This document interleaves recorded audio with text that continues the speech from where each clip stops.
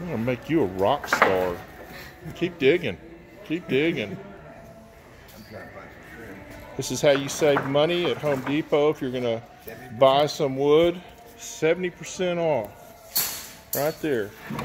And that is going back here in the junk pile like this smart guy's doing and dig through here and get you some scrap wood if you just need one or two pieces. This is a way to do it instead of spending top dollar. Man, this stuff is like gold right now in 2022. So check it out.